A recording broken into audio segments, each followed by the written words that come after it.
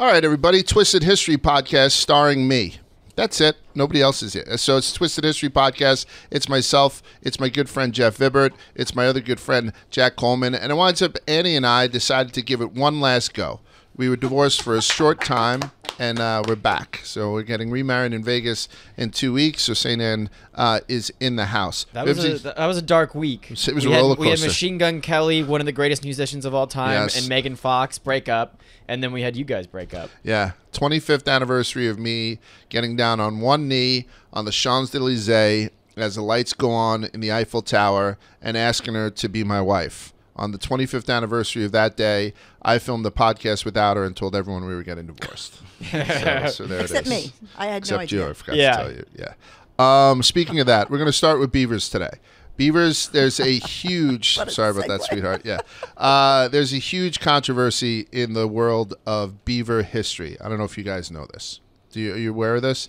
For some reason, you're a beaver enthusiast. I I do dabble in beaver history. I, I I know it in and out. But didn't you when we there was an operation when we did a twisted history of military operations? I remember this vividly, but not vividly enough to know what you had thrown at me. And there was an Operation Beaver Trap. Yep. There was an Operation Breakfast. Like we were we were rating the the um the names how they were. Like Rolling Thunder is great. You know, uh, Wrath of God was awesome. But there was one that was Beaver Trap. I thought you threw some sort of like beaver enthusiasts fact at me at the time. Am I out of my fucking mind? He was also uh, big on raccoons. Uh, big on raccoons. Oh, Oh, it might be raccoons. raccoons. Well, I, I will say this: a beaver, a female beaver, is much bigger than you would think. That's you were running and you saw a huge beaver. so we, we would run on like these bike trails down by the river, Uh-huh. and we saw This this, is coming back to mama beaver just in all her wet furry glory, just sitting on the bank of the river. Right. and she had six of the biggest titties I've ever seen. Really? just all hunched over, wet, and just wow, Yeah. Got the big titties out of the way. I'm- It's not Right even Yeah. five minutes. yeah. I got a couple more tucked in. That's definitely what it was. But at frumpy, the word I would use to describe that beaver was frumpy. Really? Yeah, it was, It was bigger yeah, than you thought. Massive. I had seen a raccoon come barreling across a road, a country road, and um, I think we were living in Atlanta at the time, so we were outside of Atlanta, so it really was a country road, kudzu everywhere, the whole deal. Raccoon was barrel ass, and it was just this big ass on it and this little small body. It was very, uh, you know, bottom heavy, and a and a pickup truck hit it. And a pickup truck swerved and almost got into an accident. I think it did some real fucking damage. And that's when I noticed that raccoons can be goddamn huge too. They're massive. Yeah, yeah. All right, so big beavers. Let's start with the. So this is the controversy in beaver history. Okay, how did the vagina become known as a beaver? And that's where the controversy is. Like everyone, oh, nice beaver. Had it stuffed That's the beginning myself. to a great joke. I was like, is this a Bob Hope bit? I looked at Vivian's No. I'm like, like, he's, but- he's waiting for a punchline. Yeah. No, like so if you if you say uh how did it become known as a dick? Like there is no defined reason that you call a penis a dick. I'll find one. But there's uh, there's a legend that there was an officer who liked to expose himself, and he like ran out into no man's land in World War One, you know, with his cock out, and that's how he wound up dying. And his name was like you know Dick Worthington or something. So that was named after Dick. So there's no defined thing on how a dick became known as a dick. So I always been fascinated on how things got their names. Always been fascinated with the uh, with the with the origin of that. And beaver is one of those things because I think generationally people recognize those stupid puns. Do you know what I mean? Like when you said, mm-hmm. "Oh, a big wet beaver," I'd be like, "Oh, you know, I've been enough of those." You know what I mean? Like that type of thing. You got to make a joke. Yeah. Yeah. So here's the three schools of thought, and here's where the controversy lies. And then you make your own decision because what history does is allow you to have an opinion and make decisions. right? Let's start with the hairless theory. Okay? Some say a vagina is called a beaver because when it's bare, it looks like the gap between a beaver's two big front teeth. Whoa. Whoa. Now, a picture in your head. I know it's been a while, Jack. A hairless vagina, purposely hairless, not underage, fresh out of a Brazilian. And then picture a beaver's teeth in the gap. So picture Michael Strahan, almost. so that's the hairless theory.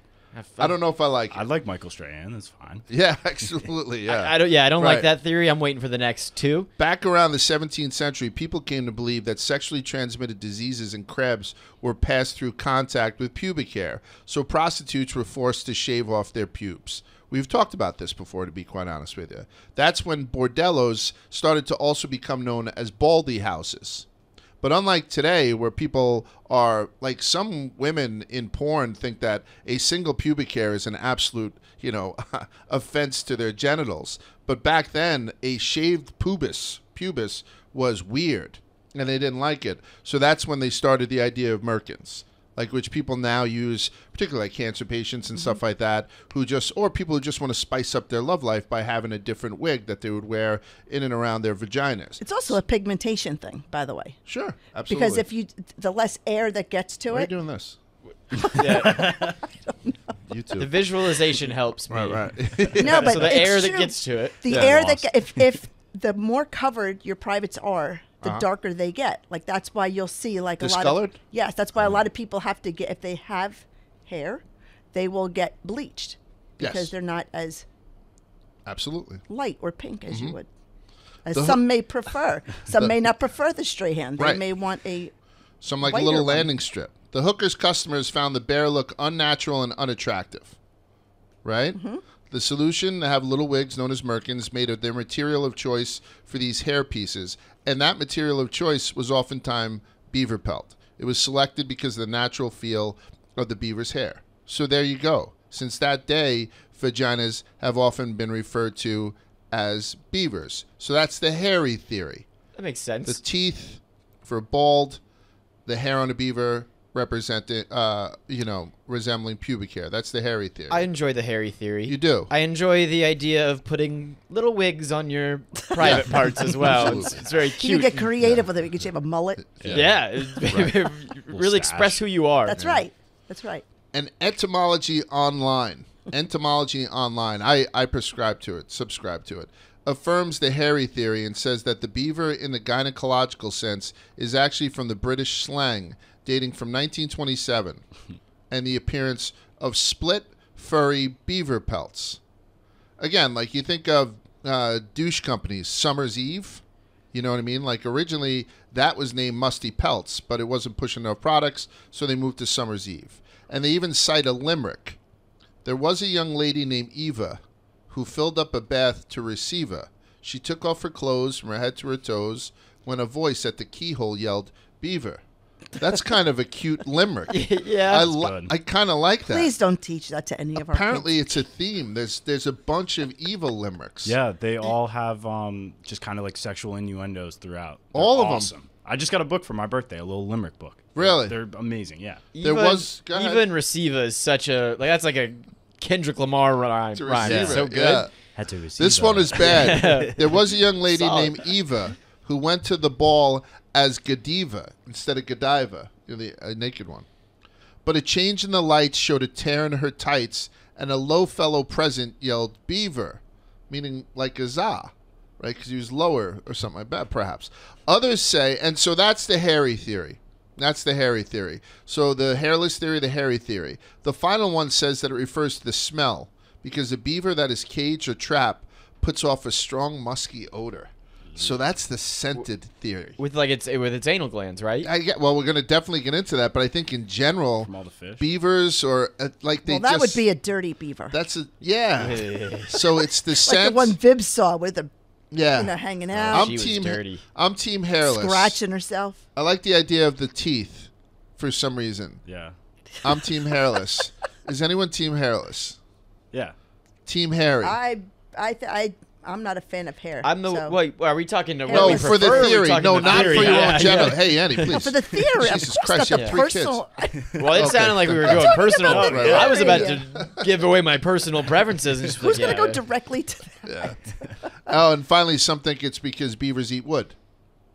Ah. Do you know what I'm saying? There you so that, go. that might be it. As I was researching this part, I read a story about a family that had a pet beaver, and you know what they named it? Sharon Stone. That's a great name for a beaver. That's very you, good. You please, yes, you know that. Yeah. right? Yeah. Okay. Yeah. Yeah. Sure. Uh, uh, No, they don't. Yeah. That would be terrible.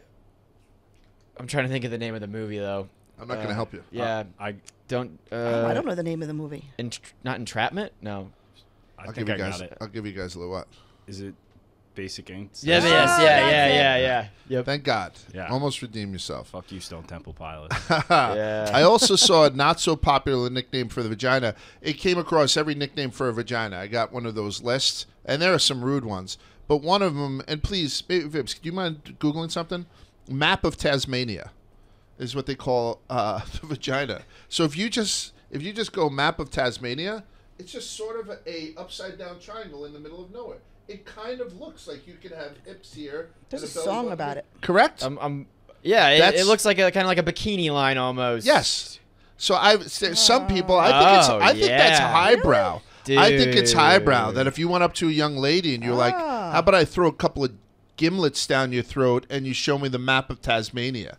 Like I think that's next level. Let me put my nose on Put Melbourne. of I was that. looking at the map of and you'd have that uh, that album cover. What is that album cover? Public Pill. Image Limited. Yeah. Yeah, pill. Exactly. Oh, yeah. Talk about Big difference. yeah. There it is. Yes, exactly. That's Tasmania. talk about going down under. Yeah. Oh, Yeah, Vincent! yeah, I told you the beaver Yeah. one. It's all about the puns. Yeah. Yeah. Oh, they love it. I was the splitting people love it. Lazy writing my ass. Oh, Sorry. forget about it. No. Uh, before we move See, on from this beavers, makes you want hairless, right? Yeah, like yeah. that. Uh, yeah, it also looks like a messy beard, like it'd be hanging off your that's. chin. I mean, they call it a beard yeah, too. no, one hundred percent bearded clam. Your nose goes right in the belly button. didn't mean Where's your beard? Uh, before we move on, I want to talk about castoreum. I'd asked Annie to look this up. That's that beaver extract from the castor Yeah. sacs located within the assholes Oh. of mature beavers. Did you know about this before I wrote it down? Yeah, we did a beaver anal gland whiskey on lowering the bar. That's the last thing I was going to mention. Is it the one that I, I threw a picture in there? Is it Eau de Musk with the beaver on it? yeah, Eau de Musk from like Tour de Loc or something like that. That's I want to exactly say. it. Does it was- look like that? Yep. Yep. Wow, that's, that's what we the one. tried. It was actually pretty pretty damn good. It's from Tamworth Dis, uh, Distillery, Now it doesn't it doesn't taste it like Tennessee? butthole at all. New Hampshire based. It New doesn't. Hampshire. That's it. No, New Hampshire. That was it. Yeah. Maybe I can't be. really remember. Yeah. Yeah. How many how many anal gland whiskeys are there out there? I would hope only one. but uh, they use it for like a vanilla extract and it's exactly what they use it for. and yeah, yeah. that's all I know about beaver. No, anal no, gland. it's it, that's it. So Oh, it- that so you look- everything about it. That's all I know about beaver anal We're glands. gonna find out some more because so it's actually did, it's it's not a gland. It's a, it's got some biological uh, difference from glands, but it's located underneath the tail, in and around a beaver's asshole. And like I remember, we had uh, English bulldogs. We had to have one of them had their anal glands eased every now and again because Mm-hmm. it had a really awful, like um, old fishy oil that So would come out. If it got on your couch, I- you just had to burn the That's couch. what I was gonna bring up when you're talking about a beaver getting locked in a cage. Is that the same Perhaps, thing? The anal yeah. gland, like psst, Plus, I think Kinda like just in general, animals get musty. You Yeah. know what I mean? As do my vaginas. my butthole would get musty too if I wasn't wiping Yeah. it ever. But this isn't the anal glands that you would have from a bulldog or something else. This castoreum is a raw in raw form. It's thicker. It's like a waxy substance, and when it combines with like urine onto their fur, it also helps them like mark their territory. It- but so- and it's both sexes have it. It, it kind of looks like a melted chocolate chips. Like yes, coming out of the. Ugh. yeah, yeah. Oh, Ugh. Uh, it's located in two cavities under the skin between the pelvis and the base of the tail. So that, you know, there's nothing else there but pure asshole. Uh, because of its proximity to the anal glands, castoreum is often a combination of castor gland secretions, anal gland, sec- anal gland secretions, and urine. And since most anal secretions stink due to what's going on in animals' guts, Not mine. so there's this, yeah, but a beaver's is a little stink. different. No, a beaver has like a, um, a a diet that is a little bit more. It's it's bark and its leaves. So their castoreum is a little bit more fragrant, and it has a musky vanilla scent. The consistency of molasses, though not you know not as thick. Like an earthy. Yeah, an umami. It's known. Uh, it's useful in simulating raspberry, strawberry, and vanilla flavors. Has been used in perfumes because of its FDA label as generally recognized as safe. So you're allowed to use this. This is a legitimate. You know, you could have this in your medicine, not your medicine cabinet, in your spice rack, right? Manufacturers don't even have to list castoreum on the ingredient list and may instead refer to it as simply natural flavoring. It's all legal. According to 2007, uh, 2007, couldn't get anything more recent, a safety assessment published in the International Journal of Toxicology, consumption of castoreum poses no health risk to humans. These are all positives. What about your mental negatives- health, though? Yeah, exactly. know? About a thousand pounds of mm-hmm. castoreum is used in consumer products annually, and it is not vegan. You can't consider it vegan because it's coming from it's an animal product. Right. It's not kosher, and it's not halal. Okay.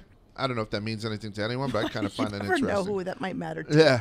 No one knows exactly when of people, castoreum. uh, I had yeah. to add it. Yeah. It's, it's correct to do it. Yeah.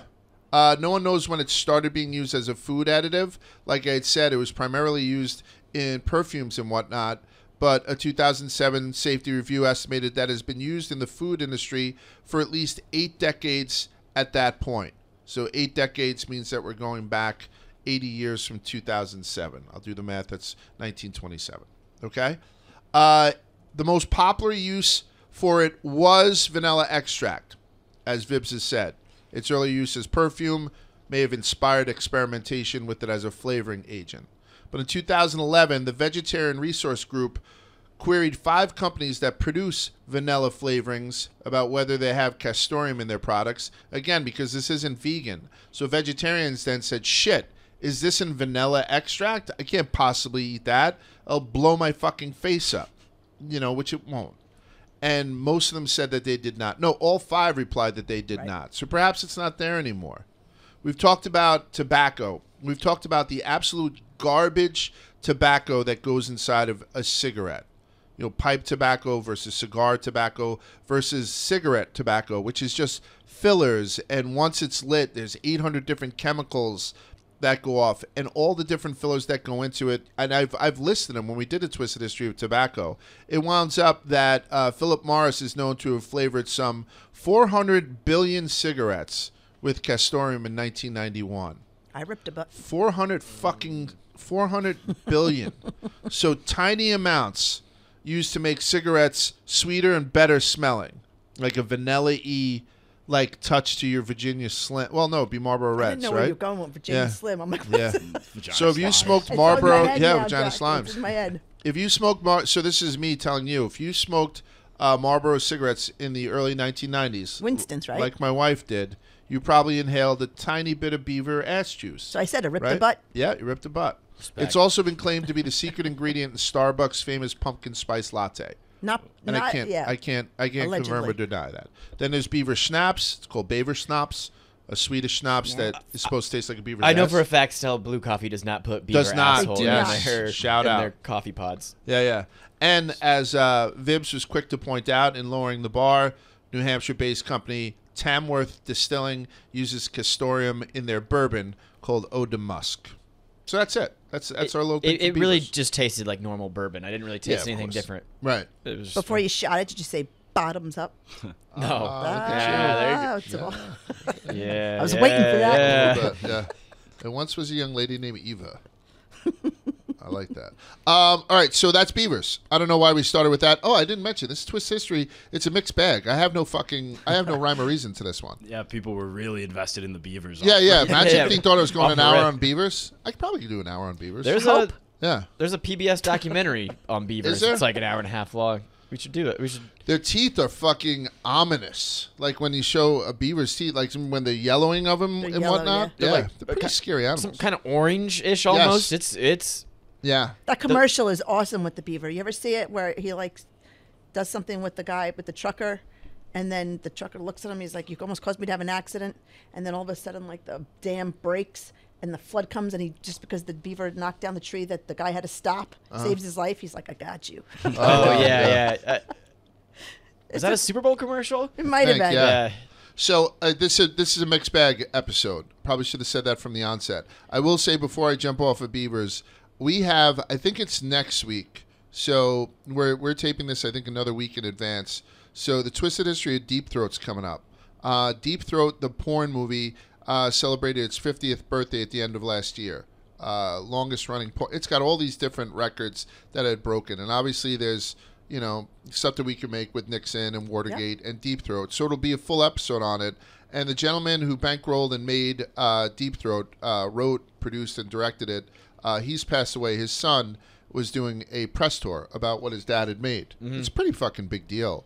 And so our friend Lisa had reached out to me and said that she'd spoke to this guy and thought it would be perfect for me. So I listened to Lisa's podcast on it. So I'm going to have him on uh, just to talk about it. It's actually a fascinating story about this porn. And then afterwards, we'll get into Linda Lovelace, uh, you know, fucking a dog, and we'll get into all the stuff that's happened uh, with porn in and around that thing. So it's going to be a twisted history of um, Deep Throat coming up in a week or two, right? We so, went from so- vaginas to deep throat. yeah, yeah. Before I get off, Perfect segue. You don't want to. Yeah, yeah. You said that on purpose. When I um when I think of the most enjoyable stuff that we do on Twisted History, it's tough to nail down. But every now and again, I I hear a story about a guy, and I make a big deal out of it. Uh, the perfect example was the way that I was shitting on Sully with guys pilots who I just found to be studs, and I say that all the time. What a stud! What a stud! So I've had a couple of stud kind of stories uh, pent up, whether they were sent in or whether I just had them in my inbox. So I'm going to do that, right? If that's cool with you guys. The first- Absolutely. yeah, the first one I'm going to talk about is a guy named um, Alexander Prokhorenko.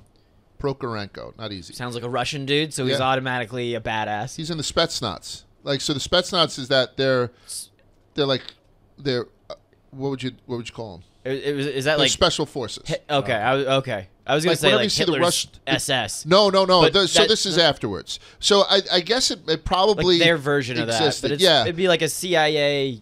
I think it's like their Green Berets. Okay, people somebody in uh, military uh, you know some sort of you know expertise is this correct me but i think every now and again you'll see like russian uh, army training videos where they're really fucking killing these guys like almost like when you see people um, navy seal training how they make them sit in the water with the, the logs on them these spetsnaz people, yeah. they kick the shit out of them i believe that's the spetsnaz and I believe like they're people who are sent in for like hostage situations and stuff like that. Special forces. I think I'm pretty safe saying All that. right.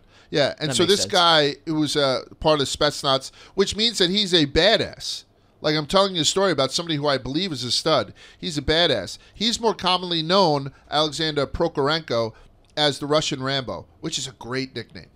Russian Rambo's a great nickname. Great alliteration, Yeah, yeah, yeah. yeah. The Spetsnaz. Uh, so this is all happening in 2015. I probably should have started with that. That way you didn't think that I was talking about the SS or something like that. You Yeah. know? This 2015 is much later. I just meant like a secret army. yeah. Okay. Yeah. So I think I think my closest thing would probably be Green Berets. Yeah, and it makes Yeah. sense now. It's just like a like- or sales or division of the something like yeah. military. Um, so uh, there was a Syrian civil war, and Russia had gotten involved in 2015 at the request of the Syrian government. They wanted military aid from Russia against rebel and jihadist groups. So Russia had stepped in. So Prokhorenko is in Palmyra, Syria. I, I hope I'm saying that right. I've seen it written down in news a long time. Might be Palmyra. I don't know. Uh, and he's scoping out targets for airstrikes during the Syrian civil war. So he's one of these guys in the Spetsnaz that would go in and basically be like 10 clicks north. That's where I want you to start just absolutely dropping everything that you have. The Moabs and all that kind of stuff. That's what he did. So while he's scoping out um, targets during the Syrian civil war, uh, he's discovered and surrounded by ISIS forces. Right away, you're on this guy's side Yep. right? Like there's nothing that gets your Irish up more than hearing that ISIS is on the other side of this. Um, his superior had radioed to him and said, "Get out of there." And this is what he had said. I'm going to uh, do a quote here. Uh, I'm going to do it in a Russian accent. I am surrounded. Ah, that's not good. They're outside. I don't want them to take me and parade me. Conduct the airstrike. They will make a mockery of me. And this uniform. I want to die with dignity and take all these bastards with me. Please, my last wish, conduct the airstrike. They will kill me either way. This is the end, Commander. Thank you. Tell my family and my country I love them. Tell them I was brave and I fought until I could no longer fight. Please take care of my family. Please avenge my death. Goodbye, Commander. So I'm going to start talking about studs because the Russian Rambo is a 25 year old man who was married and was expecting a child, and he essentially called an airstrike in on himself. That's that's strength that I don't have. I tend to shoot myself in the head. I Uh, got to get so it over with. Take Yeah, yeah. these bastards with me. Yeah, What a badass. Yeah. So I, I don't have the fortitude. I don't have the fortitude. So when they talk about studs, know that I'm talking about guys like the Russian Rambo. Okay? And if I'm going to talk about Russians, I have to talk about some other guy. I'm, I'm, I'm leaving Russians and I'm going over to a, a, a, uh, uh, an American. This show is brought to you by BetterHelp. Getting to know yourself can be a lifelong process.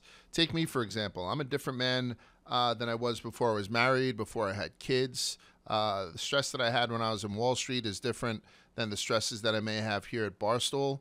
And one of the best ways to deepen your understanding and your self awareness uh, is through therapy. And my personal opinion is that the best form of therapy you can get is through BetterHelp. If you're thinking about starting therapy, give BetterHelp a try. It's entirely online, designed to be convenient, it's flexible, and it can be suited to fit your schedule. Just fill out a brief questionnaire, get matched with a licensed therapist, and switch therapists anytime for no additional charge. So you can discover your potential with BetterHelp. Visit betterhelp.com slash twisted today to get 10% off your first month. That's BetterHelp, H-E-L-P dot com slash twisted to get 10% off your first month. Sometimes talking to somebody else is the best way to find out who you are. I just watched uh, The Pacific. I told you. Yep. It's no Band of Brothers, but it's good. It's good. If you if you enjoy World War II Yes. shows, if you enjoy decent shows, it's good. I should have watched it first. And I know it came second because Band of Brothers set such a high bar that I don't think that The Pacific could ever be as good. I might. This is kind of left turn. True Detective season two was not great, but it wasn't dog shit horrible like Oh, everyone says. It just could never followed. have lived up to, Yeah. to The one. first one was, Yeah. It- the first one was amazing. It's, yeah, that's number but one all not, time. but uh, like episode one, two, three, and four were not because he dumped it. He was like, I'm not watching the No. rest of this. And then I watched episode. I'm like, well, I'm going to see how it goes. I was locked in. and then I was episode like, oh my god, you got to go back. episode four is where they do that continuous shot through like the the ghetto or whatever when he's like got the Oh, stolen running guns. through- yeah. no, I think yeah. that's five. Oh, that's because, five. Because That's four was like he like he dropped off right at four. I think it was whatever one it was. Mm-hmm. And then the next one, I'm like, oh, I'll watch. And then I'm like, I, I think I binged it. The rest I was up till and like just grabs four in the you. morning. Yeah. yeah. And I was like, oh, you got to go back and watch this. This was insane. Right. Alexandra Daddario. Leave it at that. Oh, the striptease scene. Oh my god. No. goodness. With Woody Harrelson. wasn't it wasn't a striptease scene, was it? they were hooking up. Woody oh, Okay. Harrelson. She was the Right. she was the side There's chick. a naked scene. yeah. Yeah, yeah. Ooh, naked. Did I miss that or no? Yeah. What? What? What? No, no, I think it was no. episode two. Oh, was it? Yeah. So I, I- gave up even after that scene. That's wild. That's how much I disliked it. And then I went back in both feet, and I enjoyed it very much. No, you didn't see that one because I told you you would love that scene. Right. Is is you've seen? Have you seen Godfather three? Ugh, Uh, no. yeah. I've heard it. I mean, obviously, Godfather one and Mm-hmm. two amazing, but I've been told just not even watch three because it's bad. Don't. Same thing. So I I, haven't never But either. watched i- it. is it is it I've never seen it. a solid movie if it was standalone, No. or is it just dog shit? Yeah, it's not. A, it's not a very good movie. Okay. And and the actors, like, there's something about um, uh, the Godfather being set in the time period in which it had taken place that made it a little bit more not relatable by any stretch of imagination, but a little bit more endearing. This new flashier type thing where they're hanging out in the Vatican and you know Andy Garcia, who I love. Um, it it just didn't it didn't bring me in at all. The acting was was awful in it too. Sofia Coppola, oh my god, she's dog shit. Bad. Yeah. Uh, so it is what it is. Yeah. But I'm going to. So the reason I bring this up is because there's a guy. He's a Medal of Honor recipient, which is a big deal. His name is uh, Thomas Baker. He fought in the Battle of Saipan in World War II on the island of Saipan in the Mariana Islands, uh, and he was there from June 15th to July 9th, uh, 1944, as part of Operation Forager. So Forager included a number of battles. I think like Peleliu, which you had seen uh, in detail on HBO's Pacific. So, and actually, the Battle of Saipan, in which Thomas Baker fought in, was called the Pacific D-Day. So this was a big deal, right? So it's a 28-year-old guy from Troy, New York. Shout out, who joined the U.S. Army after graduating from high school, and he found himself uh, fighting in the South Pacific. That's enough kind of to make you a stud, I think, but it goes uh, further. On June 19th, 1944, on Saipan, he advanced ahead of his unit with a fucking bazooka, and he destroyed a Japanese em- uh, emplacement which was firing on his company. That's, I mean, I think that's pretty cool. Bazooka is probably second only to a flamethrower. Is the coolest thing you can hold in your hand, right? Agreed. Yeah. Uh, several days later, he single handedly attacked two groups of Japanese soldiers, uh, their ranks consisting of two officers and ten enlisted men, and he unhesitatingly attacked and killed them all. right? One against twelve. I think a spear gun's kind of an I was gonna underrated say weapon. a katana. I think would be up there. yeah, but you so can't a samurai sword. yeah. You so if you're if we're gonna I'll, I'll stop because this is my shit. Yeah. If you're gonna here we have go. something in your hand, not for a zombie apocalypse, not for anything, for the cover of your action movie, I think a fucking bazooka is a good start. I think a flamethrower is a good start. I don't know if a spear gun has that gravitas. What did not not for a Commando have? poster of a movie, but uh, a katana for Yeah. for a poster. Kill sick. Bill. It's kind of Yeah. the same thing. Yeah. I, I just think then that my poster would beat the shit out of your poster because I have a fucking bazooka. You know what I'm saying? Like, or like a machine gun, like a belt fed, whatever they are. My poster M50s. probably makes more money than your poster though. Yeah, probably. I hear you. Bro. Um, But, But who's the- holding it in the picture? What's That's that? going to make the most money. Yeah, yeah. I am holding it. Oh, Pictures. yeah. You got you got a, a bazooka, but I got a little sweet honey next to my right. thighs, looking like she's about to s- suck, Suck me you off. off, right? Yeah. Big old map of Tasmania oh, falling sorry. out of her fucking bikini bottom.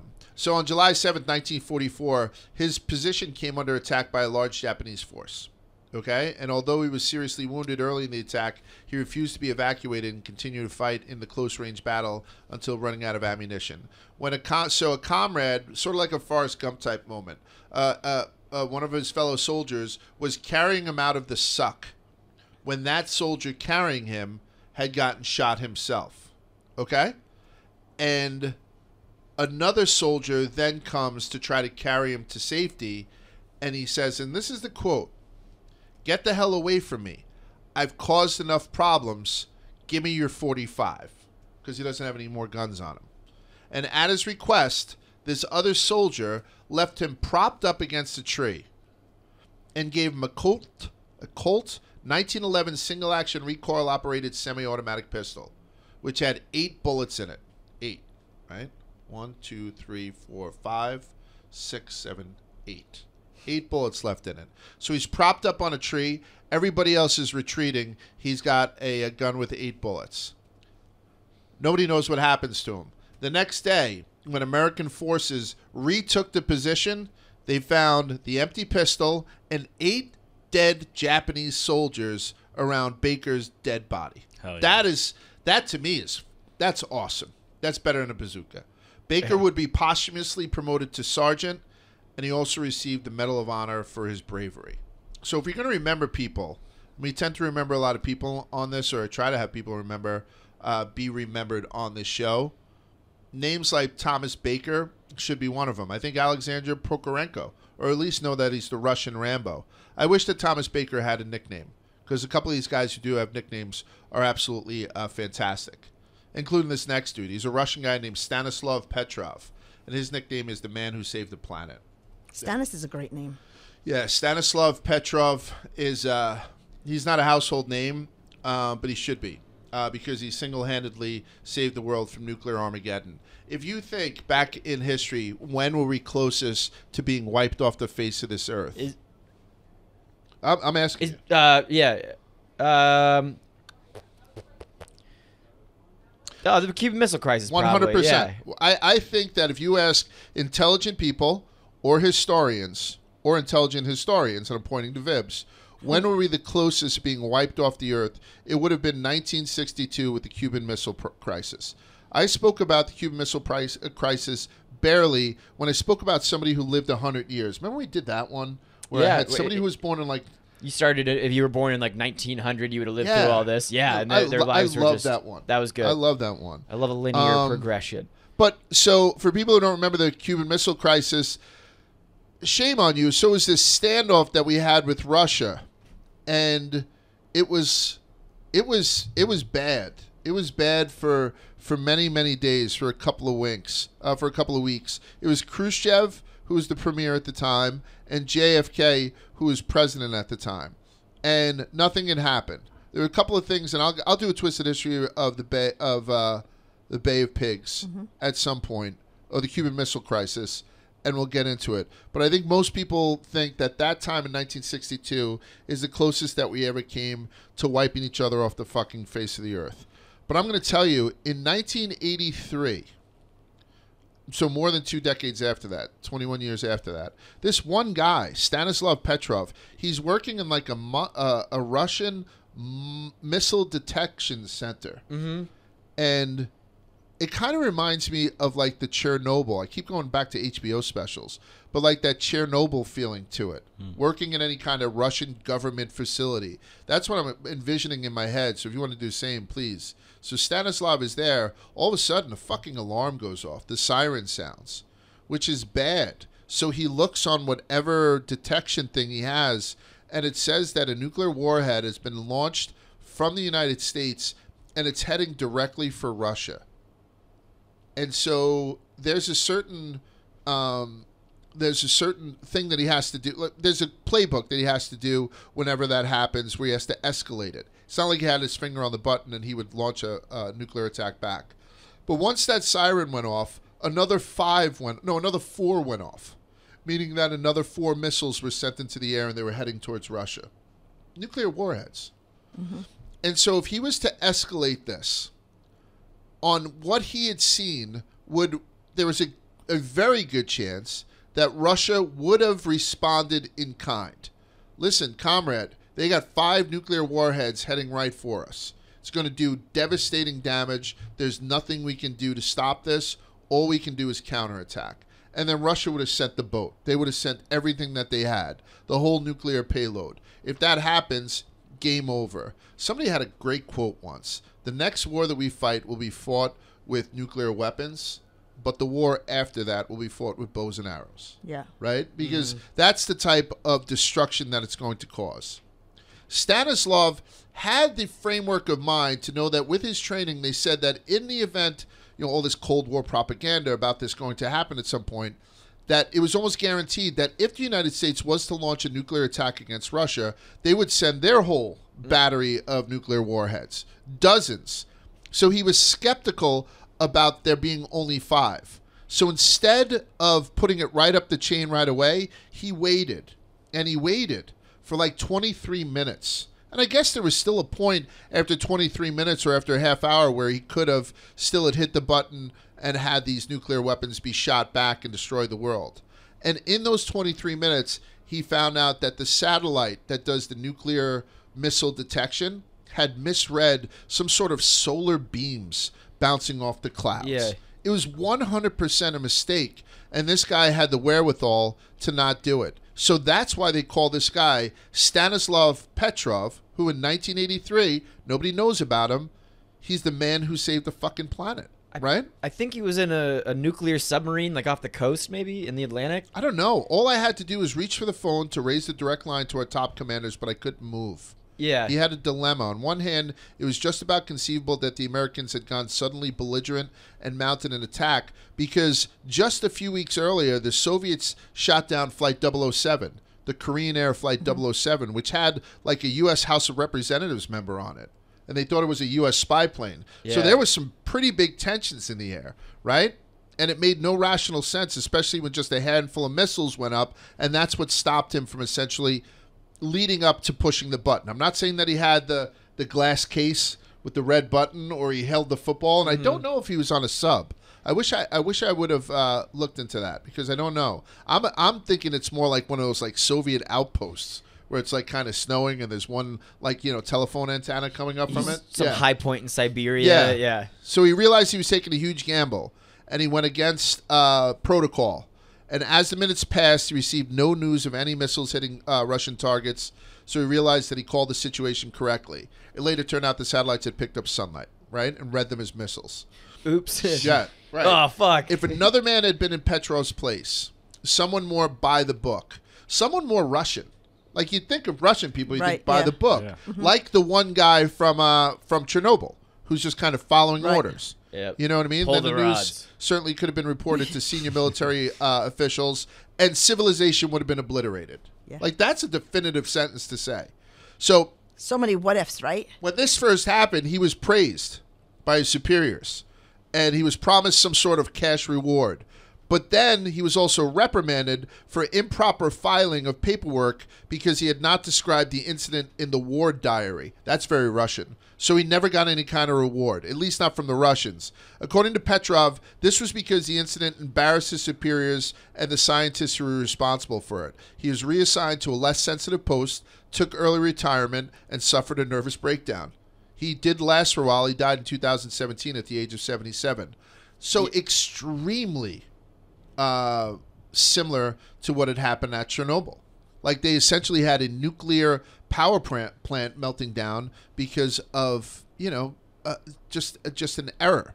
Except this Russian error almost caused the uh, obliteration of civilization. Yeah, it sucks. It sucks. Using common sense was viewed as a bad Right. thing to the Russians. Yeah. Like, Yeah, exactly. oh, this it. guy saved everybody. yeah, The uh, the other Not give him thing a reward. that's kind of wild is like obviously we think Cuban Missile Crisis for the closest uh, to being wiped off the Earth, but the Doomsday Clock is currently saying that right now Doomsday we're Clock. 90 seconds to midnight, which is the closest it's been to being wiped off Earth uh, ever. I'm, since Really? I'm since 90 Albert seconds Einstein to made it. midnight after all that beaver talk. yeah. Whoa, but you're saying that because of six- what's going on in Ukraine Yes. and the fallout from us politically. Yeah. you know, and stuff Oh, like I that. mean, I kind of assume that if Russia's able to take Ukraine, then that kind of lends to China with Taiwan, and then it just devolves from there, I Right. guess. But I thought don't it- think we'll ever let China get Taiwan. I don't know. It'll It, be- well, I- it, does, I- like, it doesn't matter be what, we, worst. But let- that- that's what we the let thing. or not, Yeah. right? It, yeah, Yeah. that's the war. Yeah. you That's know? the war. That that would be the war. You know. and it's sobering to people who have 18 year olds, 16 year old sons, and stuff like that. Whatever. I, Well, that's I, the so, thing. Like in social media, they, they the problem with it is that it tells you everything, and everyone thinks it's a current problem. But you go, you were you brought up the Bay of Pigs. Right. That would have been successful if it wasn't for the New York Times, right? Like Right. they're the reason that um, Castro knew we were coming and he protected his airstrip. I mean, I mean, they put it in the paper that we were doing it. So I mean, social media, if, if they're gonna def- mean- if they're gonna defend Tai Taiwan or if we're gonna do anything, we probably shouldn't post it. Right.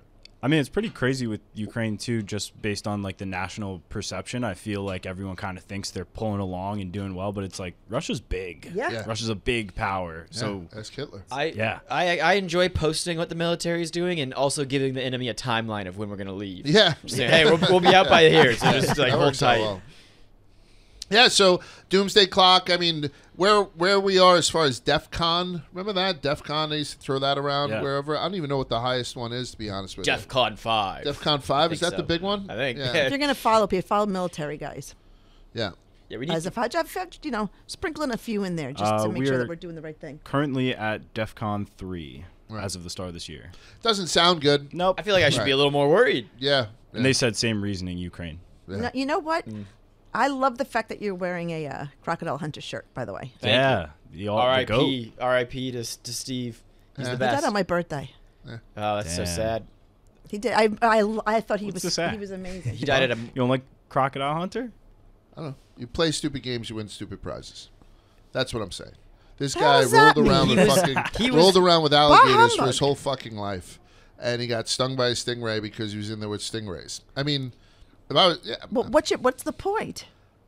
I, I don't, I don't know, like widows and orphans and stuff like that, just so he could make some fucking corny things about. He was teaching the kids was- about yeah, I don't- I nature. don't and as a result, his kids are growing up without a father. I, I have a. Whim- that's all, The that's same all could I'm be saying. said about all the food you eat.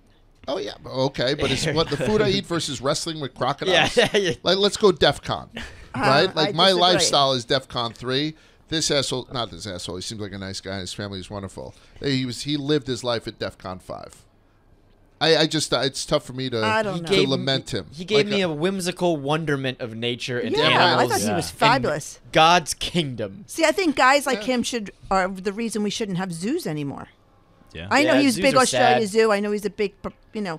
I'm talking about like the way they have SeaWorld, elephants and all these gigantic animals. I, listen, I, I I've hate paid zoos. money to see Bindi. Took the kids to see Bindi, right? know, that was she awesome. We she- sat with them. Yeah, yeah.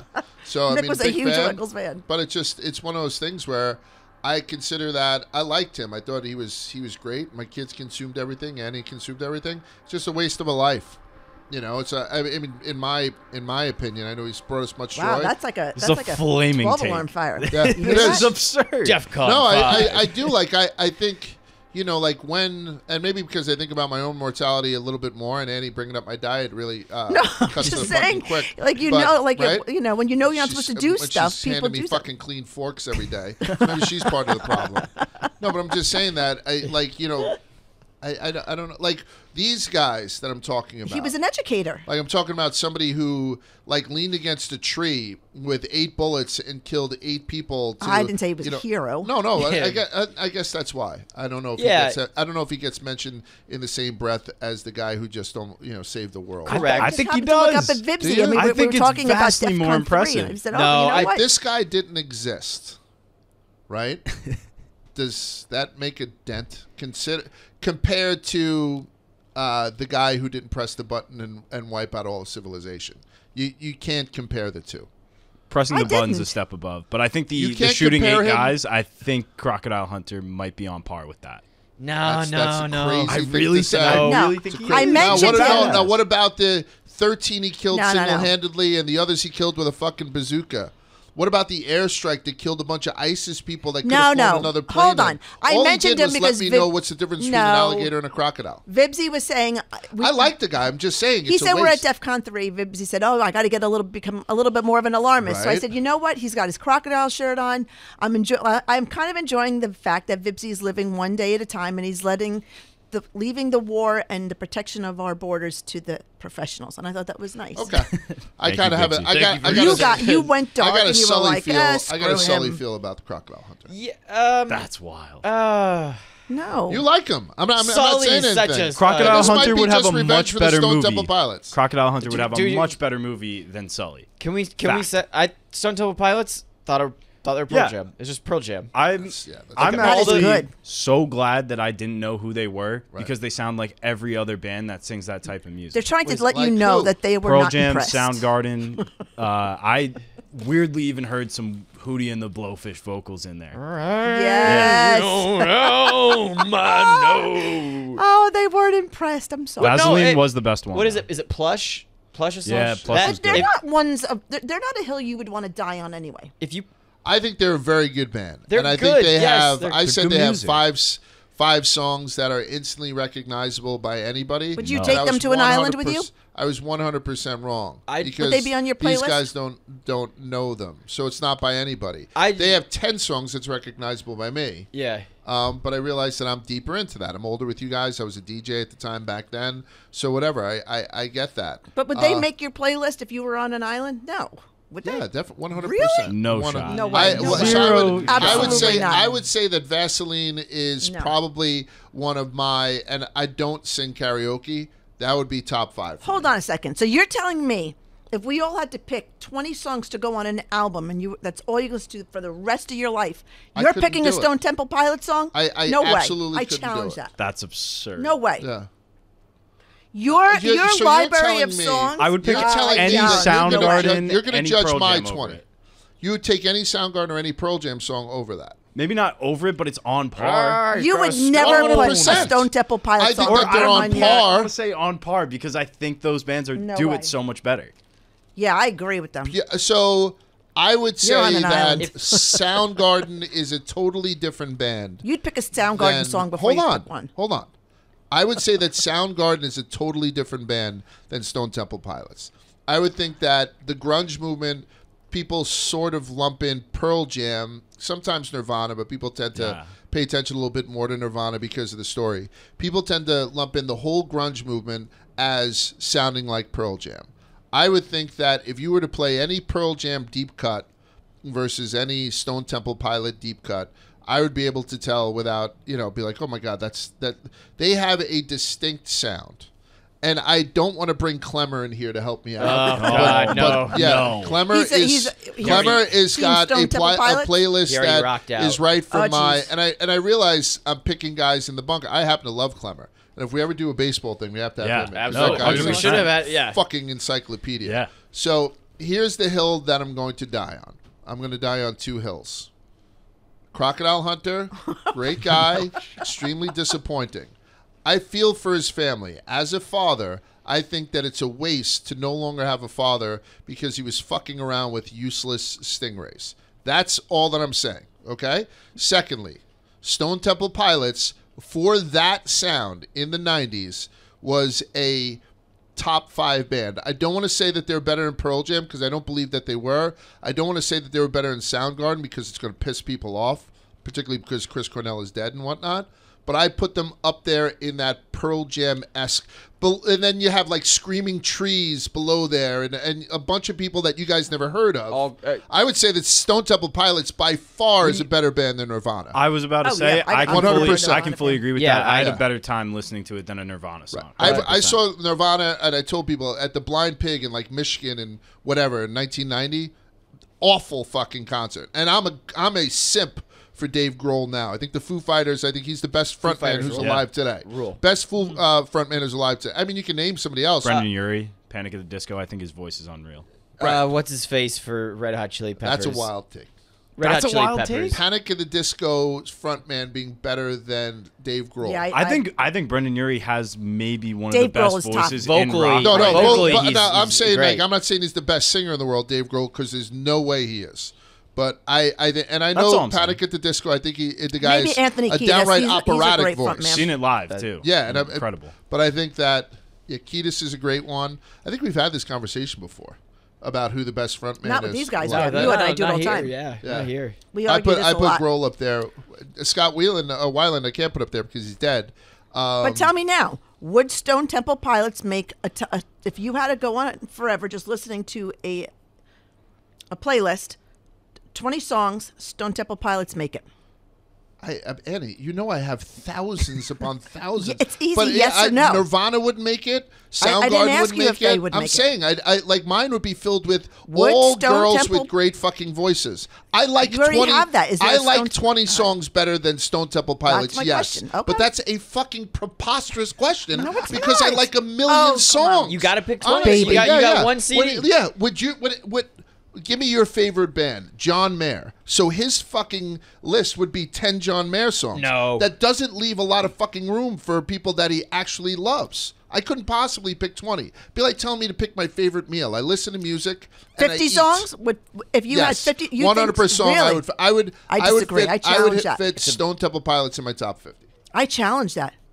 I, say, do. Doesn't matter because it's my fucking thing. I think we should have- I Honestly, think you we can should do challenge this. it all you want. I think we should do this. Do like 18, 20 songs, a blank Yeah. CDs where What? How about how oh, about he's te- got them. I can tell you right now, Stone Temple Pilots is out of the. I could pick our the top five playlists on our album, on our, on our song library. I bet there isn't a Stone Temple Pilots song in them. Let's do it. Let's do Yeah, twelve because I songs haven't each. listened, but that doesn't mean anything. Why? That You doesn't sat mean down and anything. like, time to make like them. I, I think Billie Holiday, I think uh, has one of the greatest voices that ever lived. It's definitely not on my fucking, uh, you know, top ten list, top I fifty, top one hundred. Our wedding album is Benny one of them. King is, is is not on there, and I think it's one of the most beautiful voices that ever lived. I couldn't live without hearing him one more time. But he's on one of our playlists. I I just I just wanted to say if you if it was if we were doing trivia and they played Plush, I would have said that's Pearl Jam. Pearl Jam. like Yeah, I, Yes, I, I, 100%. agree with I've that. heard I would have. I've because heard you're it. ignorant. I 100 percent yeah. It's my it's in my like my like history Right. blind My spot. island's gonna have way better vibes. Let me just say that. If you're Right. bringing Stone What'd Temple, my, I said my island's gonna have way better vibes.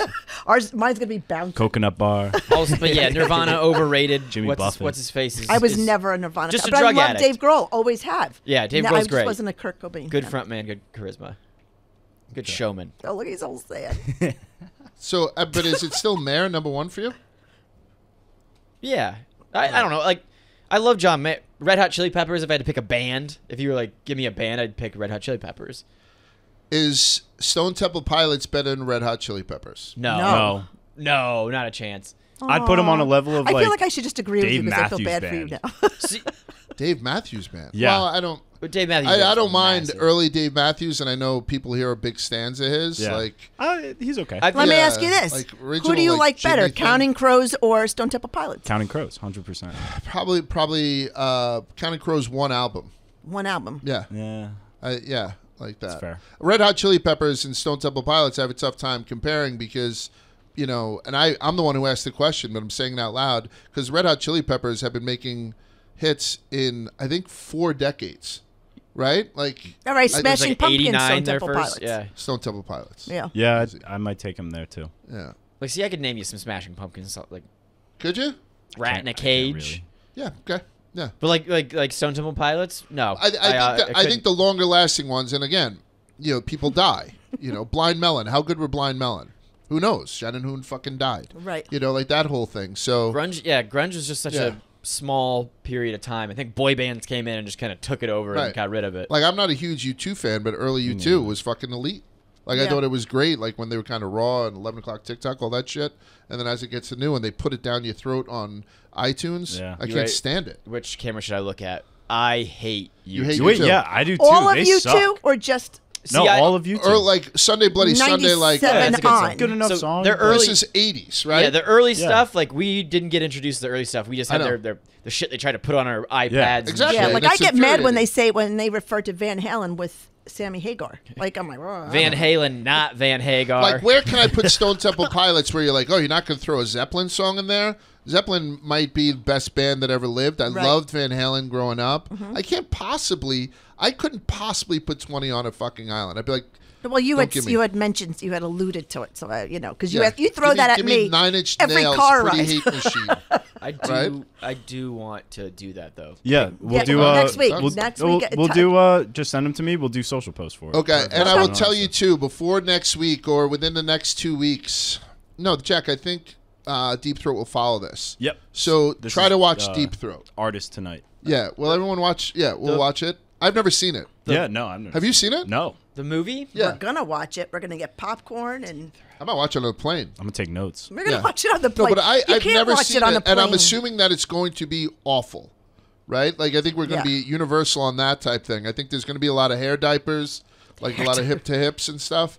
But um, By the way, did he ever tell you what he did to me when we were working on the training floor when he changed my password to Merkin and I had no idea what a Merkin was? And you had to ask somebody? Yeah. Or you, yeah. Well, I didn't know what my password was. So my friend John's like, "Oh, it's Merkin." I'm like, "Oh, what's Merkin?" They're all like, "Bunch of idiots." Sorry. All right, let's get back to this absolutely inane fucking conversation that we're having. I Hold could, on, I could Vibsy's have it. Deep throat, uh, deep throat. The there's a movie and a porno, right? No, the porno. The porno. Okay. yeah, I all don't right. think there's a movie. oh, I- The movie okay. is the porno. Got you. Yeah, yeah. And then Deep Throat was just the accomplice in the thing. They named him In Deep All the Throat. President's Men, Yeah, they yeah. named him Deep Throat. Yes. Got you. Okay. All right. After the I'm movie. here. You have to Yeah. watch the porn. Okay. have to watch the Gotcha. porn. I just. So watch the porn. That's what's celebrating its 50th anniversary. I think you'll see whatever, right? 1972. and we've That'd spoken 50? about her. So so I'll send you the I'll send you the script from that episode so you know Linda her Lovelace, background. but she might have been Linda Boreman back then. It's hard to deep. Uh, it's hard to. It's hard to deep. Throat. It's hard to type in deep throat porno and, and Yeah, have it come up. That's what I'm saying. Yeah. He's going to watch it on the plane. Yeah. Yeah. little She's three, a little joke. three cheese. You'll be Be sit- good. yeah, Yeah. a little three cheese. You know what? You're going to end up the loving Tank. it. Yeah, yeah. Me sitting, help me sit between Devlin and Frank plot. the Tank. Watching fucking deep throat. The worst is going to be when someone picks up your phone and being like, "What was? Can I use Daddy's phone?" Sure. Where the fuck were we, by the way? It started with me. Bay saying of Pigs, we were talking Crocker. about Cuban By the way, Missile rest in peace, and I feel so bad. And by the way, his wife was a sweetheart too. Yeah. Crocodile Hunter's wife. The who whole did, family like, all the seemed zoo pretty- shit. we knew great, it. yeah. So like personally, because Mick was obsessed and the son is with a dead him. ringer. Yeah. Yeah. Bindi's Yeah. hot. What happens if. What happens if they get bit by a fucking snake and die? Like, what more does that woman have to go through? I don't. Just there- get a fucking desk job, honestly. Learn a lesson. we- Their zoo's getting closed down, or they're they're closing it down. oh, that sucks. I Zoos should not good, exist. We All have right. some like uh, 3D printers. Oh, we Jesus. can't, you know. All right, here we go. There's a letter from a guy named Cole, Cole Reardon. Hey, large and twisted crew. Love the pod, especially the nod to aviation. As a pilot myself, coming from an aviation family, I just wanted to push you in the direction of a gentleman named James Goodson. So here's another name. Don't remember Scott Whelan. Remember James Goodson. Uh, he was wrongfully attacked on a civilian boat by a German submarine, which catalyzed his anger towards the regime. After rescuing himself and others on the attacked sunken boat, he decided to enlist as a pilot, and he later went on to become a distinguished ace. And I looked it up, and he was. That boat was the SS Athenia. The Athenia was sunk uh, on September 3rd, 1939, from a torpedo from a German submarine U 30. It sank her in the western approaches. Uh, the Athenia is weird because it's the second boat that was named Athenia, and it was the second boat named Athenia that was sunk by a German submarine. No more boats named. No Athenia. more boats named Athenia. So this guy was on the boat, and that spurred him to become a uh, an ace, an ace in World War II. Uh, the Athenia was the first UK ship to be sunk by Germany during World War II. 117 passengers and crew were killed, and it wound up being condemned as a war crime. So this guy was on a turning point before uh, World War II. So this guy, so we're talking about studs, and we're talking about this guy James Goodson. So he's a fighter pilot, and he loved to smoke cigars. He used to smoke cigars in the cockpit, sort of like that John Belushi character in 1941, which I think you saw, which was a terrible movie. Horrible. Yeah. Steven Spielberg's 1941. Well, yeah. So this guy would smoke cigars in the cockpit, and he would say that every now and again, if he dropped his lighter at his feet, there's no way you could bend over. So he would do a barrel roll. So the, the lighter would then be on the canopy, and he'd grab it, right the ship, and then relight his cigar. That's that's awesome, right? The plane and then relight a cigar. So I, I kind of think that that's a cool enough story but then he wound up um, getting caught by the Germans, shot down and caught. Okay, and this is where the legend uh, becomes. This is from the Washington Post. They wrote an obituary for him. He recalled that when he was captured by the Germans, he was going to be put to death. And one of the Nazis, who was also, I believe, a fighter pilot, who had some respect for him, said, Before we put you to death, we would like to offer you a drink, your last drink. And so Goodson says, instead of a drink, I see that box of Cubans or whatever over there. Would I be able to have my last smoke? And so the guys who are about to put him to death said, sure. Lights up the cigar. They light up cigars. He starts blowing smoke rings, which I just recently learned how to do, and it winds up I'm very good at it. And the Germans were like, can you teach us to do that? And so they wound up not fucking killing him. Wow. Gee. Oh. That's so cute. You make them snowball in July? Uh, uh, so they said, "Can you teach us to do?" so they wind up not killing the fucking guy. I know it's an idiot, um, right? And they start talking about their mutual interest for fucking cigars. So instead of being shot, Goodson was sent to a prisoner of war camp, and his quote is saying, "People say that smoking costs lives. It saved mine." And then he was held in POW camps in Poland and Germany until he was repatriated in April of 1945. That's a great story. He was called, and everyone has a good nickname. He was called the King of the Strafers. Strafing is when, like, you know, you just Low flying, right? yeah, low flying planes that would sort of gun stuff that's on the ground. He's credited with sitting, uh, shooting down 15 aircraft and destroying another 15 on the ground during World War II. So he's got 30 aircraft uh, to his thing. He won the Silver Star, nine awards of the Distinguished Flying Flying Cross, the Purple Heart, and 21 awards of the Air Medal. He retired from the Air Force uh, with the rank of lieutenant colonel. So I appreciate Cole sending him in. That's uh, James Goodson, um, who was a stud, and he was the king of the strafers. I feel like that's how you'd get out of a firing squad. Yeah, Smoking start cigars talking- with them. Yeah, Like, hey, man. hey, where you guys from? Yeah, oh, yeah. Berlin. Yeah, what what grape is this? You know what I What's mean? your Like do something like talent? that. Yeah. What's your talent, Vibs? We know he could blow a smoke ring. Oh, I would sheer brute strength get out of that Nazi concentration Flex camp. for it. I would I'd 100%. punch them all in the face, put my fist through their skulls. Mm. That's just how Vibs rolls. I will tell people you don't have to send me. Many people, and I'm talking like 20 people, sent me the story of Lou Pai. Yeah, he was in that movie. Do you guys see the smartest guy in the room, the Enron documentary? Yep. I never saw it. It's good. But allegedly, there is an Asian fella in there who they allude to who has a very large affinity for strippers. Did you notice that character? It wasn't a main character. it's been a while since I've seen it, so It's no. based on Lou Pai. Okay. So Lou Pai was one of these guys that worked uh, in with Enron down in Houston. I used to trade Enron. For people who don't know, I traded Dynegy. I traded Enron. So before the shit hit the fan, I was gonna say they're doing great for a while. yeah, yeah, it was great, great stock to trade. Um, House of Cards though. But so when he was working for Enron, he had an affinity for strippers. He had a wife at home, but he used to use like the private jet to like jet around. He used to do like thousand dollar lunches on the company. He was part of the problem with Enron. He got one of the strippers pregnant. His wife found out about it, and she says, "I want a divorce." Mm. And he's like, "Well, that is a great coincidence because I want to marry this stripper who I got pregnant." So he decides to restart his life. He sells all his stock in Enron. He resigns from the company. He pays off his wife, and he buys a shitload of land in Colorado. At that point, he was the second largest landowner in Colorado. On his property was a mountain that they called Mount Pi. This guy, a month later, the shit hits the fan with Enron. Everybody goes to fucking jail. He paid his wife five million dollars. Let's say I'm making that up. He wound up paying the SEC on the investigation. I think it was a civil investigation, thirty-one million dollars. So he got out without any kind of insider trading because they said he wasn't trading like Ken Lay getting out of his stock knowing that the shit was hitting the fan. That's insider trading. He mm-hmm. knew he was dealing in a house of cards and he got out at the expense of investors. This guy's like, I didn't get out. I knocked up a fucking stripper. I'm being served divorce papers. I'm going to fucking Colorado to buy a mountain.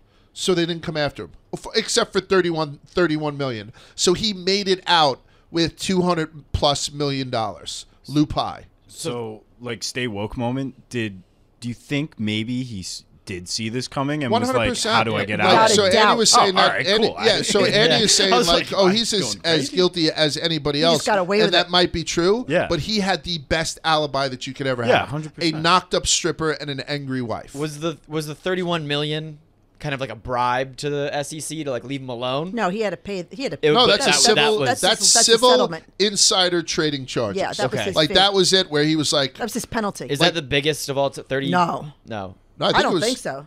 It was one of the largest settlements in history for One, the but I- SEC's I've enforcement uh, dealing with an individual alleged insider trading. It was one of the biggest ones. So I mean, not a company. Yeah, a they've person. seized more from it, but it was one of the biggest ever. So it was big. Yeah. But like he still had a couple hundred million dollars and a you know a hot stripper wife and, And a mountain a- in Colorado, yeah. which he wound up selling. Like I think he's in Florida now. He's bounced around. He's had other jobs and whatnot. So, but it became. I think somebody put it on like today. I learned. In mm-hmm. Reddit, I get a lot of those. I love them. Yeah. So please don't stop sending them to me. But when this guy came up, I'm telling you, dozens of people sent me this fucking guy. So it's Well, cool. that's a so I- I company. mentioned So Yeah. Amount paid is cool. six hundred and fifteen million. the the biggest settlement was the tobacco settlement. Oh, uh, 100%. 206 billion. Yeah. yeah, By the way, they wrote a check. I know. Yeah, yeah. That's disgusting. He got up. Oh, at you know. I think the but the I think the biggest individual one Individual. then became Stevie Cohen, That's what I Yeah. just said. Six hundred and fifteen million. and Stevie Cohen wrote a personal check, Yeah. I believe, for that. Uh, But that was years later. But Um, the firm had it. The hedge fund paid it. He didn't personally. his family office, Stevie Cohen paid it. He don't, Six It says it was his office. His firm paid it. Now he owns the Mets. Yeah. Yeah. Uh, this is from Austin Oxford. I love twisted history and your demeanor, the way to tell stories. Cool. Thanks, man. That's the end of it. Yeah, I think. No. I came across this female soldier. I think you'd find interesting. Most badass modern female soldier. I never covered her. I don't know why. It's almost as if it's the base story of the Mulan cartoon. Her name is Malunka Savage, which, by the way, is an awesome name. It's S A V I C, but it's pronounced Savage. She's of the Serbian Army. Just a wild life. All right, so I will take that from you, Austin. It's a World War One story. We talk about female um, uh, soldiers in World War II all the time, particularly how the Soviet Union loved to use female soldiers. How effective they were too. Like we spoke about it much time. We don't do so much with World War One because back then women were relegated to being in the uh, medical corps, like that type of stuff. So um, it was actually verboten. They weren't allowed to fight in World War One. But this woman was uh, she was determined to fight, so she shaved off all uh, most of her hair. She strapped down her bombs and she enlisted under her brother's name. And it wasn't until like her tenth mission that her gender was finally revealed. She'd been wounded before, but up until this point, she'd always avoided being hit in the chest. But she was hit in the chest with Bulgarian shrapnel. Just as is my luck, the bullet went right into my chest. And the field doctor who was triaging her, or treating her in the field, opened up her thing, and you know what he found? Massive Massive. Huge boobs. huge The Z. Serbian fucking tits. Oh, like big floppy. No, no. So then it was found out such a that she was a woman. So then her commander was like, okay, Yo, this Uh, dude's a chick. the chick is up. You can have uh, a position. We're not going to kick you out, but you can have a position with this like medical corps. And she said uh, that she would never hold. No, she would never accept any position that did not allow her to carry a gun and fight the enemies of her people. So her commander said he'd think about it and that she should come back tomorrow for his decision. and instead, she stayed at full attention and told him, I will wait. So she waited there in his office for a couple hours and he was like, fuck it, you can fight. Yeah. It's like me with She Bon went on- Jovi. She went on to become the single most decorated female soldier in the world. Right? That's military history of the mm-hmm. world. She was a grizzled seven-year veteran of three war, wars fought against uh, fought on two continents. She received a total of 12 medals of bravery from Serbia and its allies. Like she was fighting for the French for a while. She won the French Legion of Honor medal twice. The British gave Savage the Medal of the Most Distinguished Order of St. Michael, and the Russians awarded her the Cross of St. George. Savage was also the only woman to receive France's Croix de Guerre with the Gold Palm during World War One. Cross of War. France offered Malunka Savage. It's a terrible first name. we talking about Ursula? Imagine Malunka. Yeah. I'm Malunka. Yeah, Yeah. That's, France said, That's not that's sexy at that all. Beaver the Big Titties name. "Oh yeah, Malunka. Malunka." Excellent point. Uh, they offered her a military pers- uh, pension for her service, but she chose to remain in Serbia, and it was a uh, it was a mistake. So this poor uh, bastard, this poor bitch. So she gets through World War One. She's highly decorated from multiple different countries. She stays in Serbia. Uh, she gets married to a banker. They have one kid. Then he abandoned his family, and she wound up adopting three other children. So she's a single mom with three, and she took a job as a cleaning lady with the Ministry of Foreign Affairs. This is somebody who was one of the biggest studs ever. Then World War II broke out, and she ran an infirmary for the National Liberation Army. When Germany occupied Serbia, they beat the shit out of her in front of her children for aiding members of the liberation movement. Then they threw her into a concentration camp in Serbia for 10 months. She suffered brutal conditions, was released after 10 months, and lived her final years in poverty and died from a stroke in 1973. She was the Serbian Mulan. That's not totally true. In 1972, there was some sort of thing where you could, like, it was some sort of, like, metal, you know, veterans convention. Mm-hmm. And so this is 1972. So she lived in poverty after coming out of a fucking concentration camp in World War II. War hero World War One, concentration camp World War II. 1972, she shows up at some veteran thing, fully dressed with her medals, and everybody there was like an Eagle Scout, or they had one medal, and she had the Croix de Guerre. Like she had all these things. So France is like, "What are you doing?" And she's like, "I'm living in poverty." They were like, "No, no, please." And they put her up in an apartment for the last year of her life. She had a comfortable last year of her life before she died of a stroke. So maybe remember that name, Malunka. Malunka Savage, the Serbian Mulan. As sad as it is, all I'm going to think about is the beaver. yeah. Yes. Sorry about that, everyone. Do we have to wrap? Oh yeah, I'm gonna do one more woman. One is a stud. The other's a fucking monster. The first is the dancer of Auschwitz. That's her nickname, the dancer of This is Auschwitz. Yeah, her name is Francesca Mann. Upon her arrival in Auschwitz in 1943, she was a Jewish ballerina. Francesca Mann. She was told to strip off her clothes and change into a prisoner's outfit. They were boxcarred in, and I believe they were about to be sent into the gas uh, chamber. Right? She stripped in a distracting way. People say, like she did a little bit of a strip tease and one of the guards who was looking at her seductively, she'd kind of, you know, did hold this thing. She reached down, grabbed her shoe. She hit him in the head with it, stole his pistol, and shot him dead. An SS guard. That's kind of a cool way. Yeah. Right? Uh, she was able to wound another guard in the stomach before she was killed. Then another woman who was present there took her attack as an opportunity, convinced a few other women to rebel. They were all murdered. This isn't a happy ending, No. but here's what happened. They managed to scalp one Nazi and tear That's- the I nose off that. another. So they That's killed not- two guards, scalped one, and tore the fucking nose off another. Take That's as the many as dancer- you can on the way out. Yeah, the dancer of Auschwitz. I put a, I put a picture in there. She's a looker. Little cutie. Yeah, yeah. So they just made a. They didn't just make it, but they actually made a ballet in her honor, um, and it looks terrible. And then the last one I'm going to do. I haven't done a monster of the week in a while, and then a buddy that I used to work with. His name is Sean Slattery. Everyone calls him Slats. Do me a favor. Yeah. So he uh, he told me about uh, this woman. Her name is Irma Grace. G R E S E, but it's pronounced Grace. Irma Grace, and she's better known. Well, she's our monster of the week, but she's better known as the Hyena von Auschwitz or the hyena of Auschwitz. I think monster's kind. Yeah, she's also called the beautiful beast.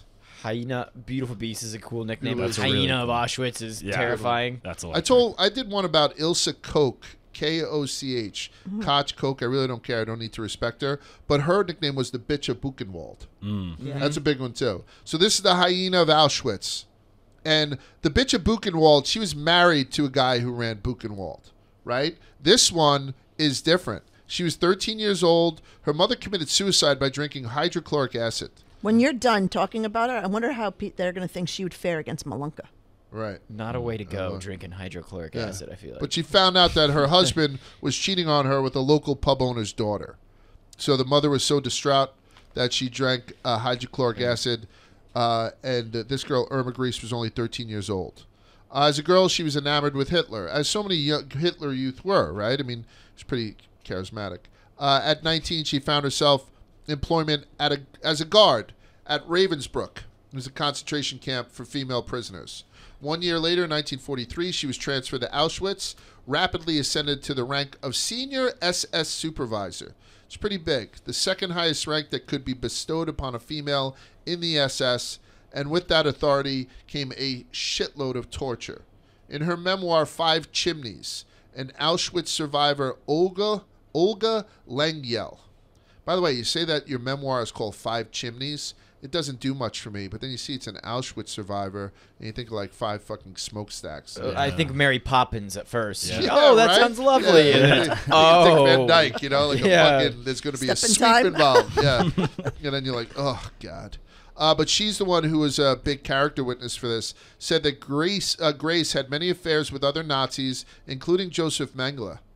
Uh, when it came time to select women for the gas chamber, J- uh, Jack, you're going to think I'm kidding around. She would purposely pick beautiful female prisoners, particularly ones with large breasts jealous. for the thing. And that's that's fucking chilling to say out loud. Yeah. She had a, a fondness for striking women on their breasts and for forcing Jewish girls to be her lookout as she raped other inmates. It was also reported that Grace would sick her dog on prisoners, whip them constantly, kick them with her hobnail jackboots oh. until they were covered in blood. And lastly, the Jewish Virtual Library wrote that Grace had lampshades made from the skin of three dead prisoners which they also said about the bitch of Buchenwald. Mm. None of this was ever proven, by the way. I think the bitch of Buchenwald, her lampshades were tested and wound up being cowhide. So perhaps they said it was skin, it really wasn't. I'm sure there was some stuff done with skin. There was guys who were Yeah. collecting tattoos and shit, right? That's one of Yeah. the things that people that go to Auschwitz, like I feel like they always bring up is the lampshades. Mm. Like seeing those in person is just scarring. Ugh. So it's crazy. But all that came to an end. Thank God, in the spring of 1945. Right? That's when the shit hit the fan. The British arrested Grace, and along with 45 other Nazis, she found herself the cru- accused of war crimes. So, this is how young she was, by the way. At 22 years of age, she's doing this shit. She was the youngest woman to die judicially under British law in the 20th century when she was executed by long drop. That's our favorite type of hanging. Yeah. So for people who don't remember, we did Twisted History of Executions very early on, uh, way before your time, Jack. It's like Stone Temple Pilots of episodes, right? So the long drop was probably too good for her because the long drop is one of those things where when it's done right, they open up the uh, trap door and you drop down. When it's done right, it snaps your neck instantaneously Pops, yeah, the Yeah. neck out. Yeah. when it's not done right, your neck is not only broken, but it rips your fucking head off.